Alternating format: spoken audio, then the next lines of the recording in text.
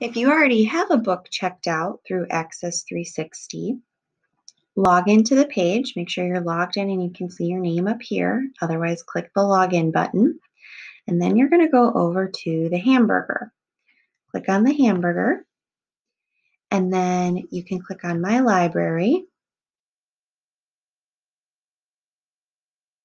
which will show you what you're currently reading.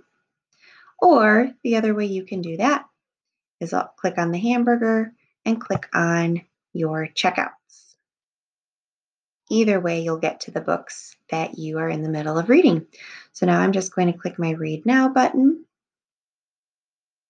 It's going to open up a new tab.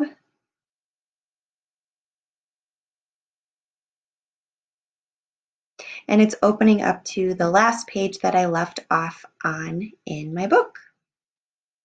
And then when I'm done reading, can close this.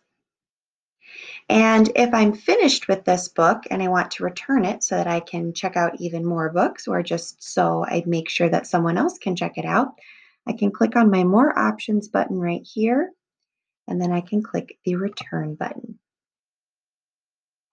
And now that book is returned, someone else can check it out, and I have uh, the ability to check out even more books.